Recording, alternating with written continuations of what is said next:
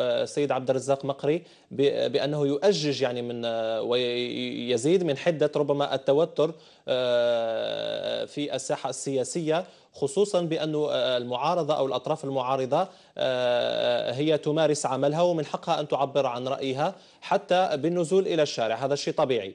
شوف اولا أعتقد أن الأمين العام لحزب جبهه التحرير الأخ عمار السعداني الهدف من كل هذا ليس هو التهجم على أي طرف من الأطراف. ولكن أراد أن يقول لابد علينا نحن كتشكيلات سياسية فاعلة في الساحة الوطنية أن نعيد كل حساباتنا من أجل المصلحة العليا للجزائر. ونحن في حزب جبهة التحرير الوطني ثقافتنا نقول عندما يتعلق الأمر بالمصلحة الوطنية العليا للأمة والبلد نتجرد من الذات ونتنكر لها وهذه ثقافتنا. أما الآن أنا المعارضة معارضة شوف إحنا حتى في الدستور ممكن التنظيم السياسي الوحيد الذي طلب بأن تكون هناك مادة في الدستور تعطي للمعارضة كل حقوقها وتعطي لها دورها السياسي في الساحة السياسية. وقال وقلنا حتى حل أي حزب من الأحزاب لابد أن يكون عن طريق العدالة. إذا نريد معارضة قوية فاعلة تثمن الإيجابيات وتنتقد السلبيات وتأتي البدائل، هذه المعارضة ليس لها البدائل إلا أن الانتخابات مثل ما كان يقول الانتخابات مزورة طيب طيب يوجد انتخابات يوجد مسبقة. يوجد معي عبر الهاتف السيد طاهر بن بعيبش رئيس حزب فجر الجديد مرحبا بك. ربما استمعت إلى تصريحات الأمين العام لحزب جبهة التحرير الوطني السيد عمار سعيداني. ما تعليقك على تصريحاته؟ والله تصريحات يعني كثيرة مش غير من اليوم يعني للأسف الشديد آه، يعني الذين يدعون لتهديد الحياة السياسية، نحن من دعاة تهديد الحياة السياسية، لكن الكلام يعني القبيح والفاحش يأتي من أحزاب الموالاه للأسف الشديد. يعني باش يهبط هذا المستوى كما يقول يضرب يضرب لي وشكا وسبق ضرب لي وشكا وسبق لي وشكا. إحنا المعارضه المعارضة في نظرنا تكون نعم. نعم. نعم نعم أنا أسمعك السيد قلت لك إن المعارضة في نظري انها تكون بما يمنع عليها يعني من الجانب الواجب الوطني ومواقفها يعني شفافة وعلى المباشر وما بعيده عن التهريج بعيده عن طيب. بعيده عن الجسم. لكن نحن نتلقى يعني كلام غير مسؤول للأسف الشديد. أنه تهديد الساحه السياسيه لن يكون بمثل هذه التصريحات من طرف احزاب الموالاه وأزيد من ذلك يعني زادت لهم الرسالة الأخيرة تاع امس يعني زادت وضعت الأمر سيد السيد طاهر بن بعيبش سيد بن بعيبش آه، يوجد معي بالأستوديو السيد الصادق آه، ربما لديه تعليق على كلامك. تفضل لا أنا ما نعلقش لأنه مسؤول على ما ابقى معنا على الخط. هو هذا طاهر صديقنا على كل حال وأنا لا ألومه هو مسؤول عما يقوله. ولكن ما أعتقدش أن الأخ الأمين العام عمار سعداني كما يقول هذا المستوى الذي نزل إليه بالعكس هو كانت عنده شجاعة بأن يطرح أمهات القضايا وفي الجوهر نتاعها في العمق. لأن العمل السياسي أو الأحزاب السياسية كما قال الأمين العام واحد عنده ورقة وحزب كذا ويحاول يقوم بخطاب إحباطي تحريضي بأن البلد انتهت البلد ما فيها والو البلد خربت البلد خلاص النظام انتهى وهذا خطأ. والمعارضة في الحقيقة آه، هي مسؤولة على تصرفاتها ولكن نحن كتنظيم سياسي نقول بأن العمل السياسي والعمل الحزبي الأهداف الأساسية والرئيسية نتاعو هو أن يعمل على استقرار المجتمع والوحدة الوطنية والطور المجتمع وطرح البدائل نعم. بمنطقية وعقلانية. سيد بوغطاية إذا قلنا بأن عمار سعيداني يقول بأن آه، خطاب المعارضة هو خطاب إحباطي يمكننا يمكننا القول بأن خطاب أحزاب الموالاة هو خطاب تخويفي. يعني ربما في كل مرة يهددون بأمن البلاد ويتحججون بهذه النقطة. خليني نجاوب. تفضل. أولا الواقع المعيشي اللي عايشينه والوضع الإقليمي الذي يحيط بالجزائر. أليست الجزائر مهددة من العديد من هذا الأطراف؟ هذا الشيء لا يمكن أحد أنكره العديد نعم. من الأطراف وهذه مسؤولية تقع على عاتق كل الأحزاب. بدل أن نتوجه إلى العمل على استقرار المجتمع وتهدئة النفوس والوحدة الوطنية وإسناد الجيش الشعبي الوطني الذي موجود على 6000 كيلومتر للدفاع عن السيادة الوطنية وحدود الجزائر نقوم بعمل تحريضي فتنوي تحت شعارات عديدة ومتعددة والخروج إلى الشارع. وطيب الخروج للشارع ماذا يفيد؟ الشعب الجزائري أنا أعتقد أنه شعب واعي يدرك ما معنى الفوضى وإلى أين تؤدي به الفوضى والشعب لن ينجر وراء وبالدليل كل الأطروحات حتى عندما راحوا إلى ورقلة قالوا مليونية وهم.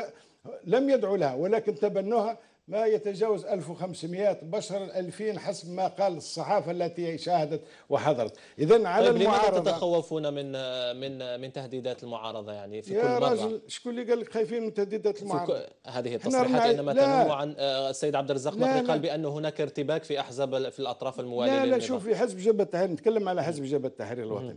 لا عندنا خوف ولا ارتباك ولا نبالي بهذه الأشياء لأن عايشين في الواقع المعيش في الجزائر. سيد طاهر بن بعيبش ما هو ردك على تصريحات السيد بوقطايه؟ والله الرد يعني الرد هذا كلام يعني ألفناه منذ مدة يعني هذا الكلام وجبت الوطني وتمثل اولا التمثيل مازال لحد الآن ما كانش واحد في الجزائر يعرف نفسه ماذا يمثل. أنا عندنا الأغلبية سي طاهر. نعم. عندنا الأغلبية في المجالس المنتخبة وفي, وفي البرلمان وموجودين في المجتمع المدني في مفاصل الدولة. كيفاش ما عندناش تمثيل يا رجل؟ بين الإدارة وأنت تعلم لا لا نعلم أنا بالانتخابات وأنا أول من نجح في أكثر من محطة انتخابية بإرادة الشعب في ولاية سقراس بكل حرية وديمقراطية. يا أستاذ أغلبية أنا الإبليس أنا إبليس طاهر. والكل والكل يشهد على ذلك. لا درك أنت اذا دخلت الانتخابات بناس خاطينك ما مش مناضلين نتاعك والشعب ما انتخب ما انتخبهمش.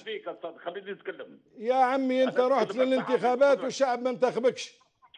يا أخي هذا الأسلوب هذا نعرفه يا صادق. أنا نحترمك بشويه أنا نحترمك حتى أنا. هذا طيب لا ما تردش علي أنت ما تردش علي. لا تقول ما كانش تمثيل. نحن عندنا تمثيل أكبر حزب في البلاد.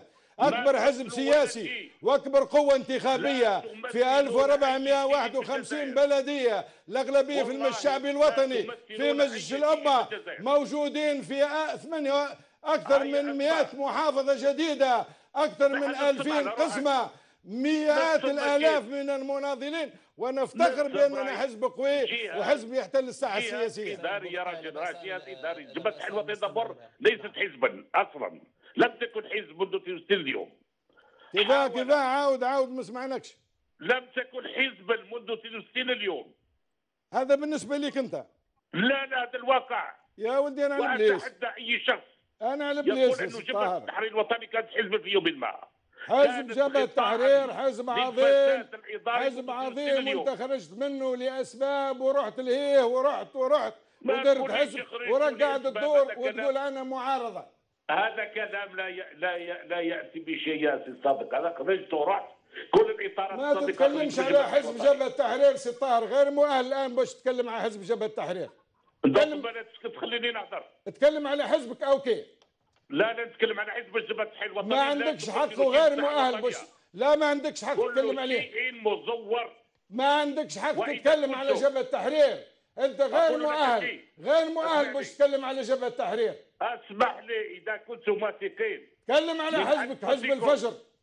إذا كنتم واثقين من أنفسكم وأنكم تمثلوا نعم. أروح نصبوا الانتخابات تحت إشراف هيئة وطنية مستقلة. آه تحت إشراف الامم المتحدة.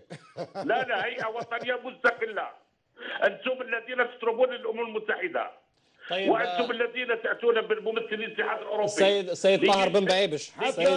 هذه دليل قاطع بأن الانتخابات في الشفافية والديمقراطية التامه ما كان حتى الشفافية والشعب الجزائري سيد آخر انتخابات 17 ابريل 2014 حاولتوا تقنعوا الشعب ما يروحش الانتخابات تجاوزكم الشعب وراح للانتخابات طيب سيد بقطاية سيد بقطاية أنت طرحت فكرتك لابد أن نستمع إلى السيد طاهر بن بعيبش. صديقنا السيد طاهر عليك لك. لك الرد سيد طاهر بن بعيبش. نستمع اليه أسمح لي. شوف ما يردش علي خلاص أنا اتكلم معك أنت مش معك معلش تفضل. اذا وأنا أقول لك شيء. ان الذي يلتجئ للفوضى والصياح والذي لا يملك الحجة. نحن نقول أنه ليس هناك حزب يدعي أن لديه الأغلبية ويمثل الشعب الجزائري. لكن هذه هذه حقيقة سيد طاهر بن بعيبش هذه حقيقة مترجمة في في جميع المجالس المنتخبه آه حقيقة مترجمة؟ نعم. كيفاش مترجمة؟ قلت لك هي حقيقة تعكسها المجالس المنتخبة. هذا الشيء لا يمكن لأحد أن ينكره. ما معنى؟ وش يعني لا ينكر؟ لا ينكر آه، عدم التمثيل. الأفلان آه، يملك الأغلبية.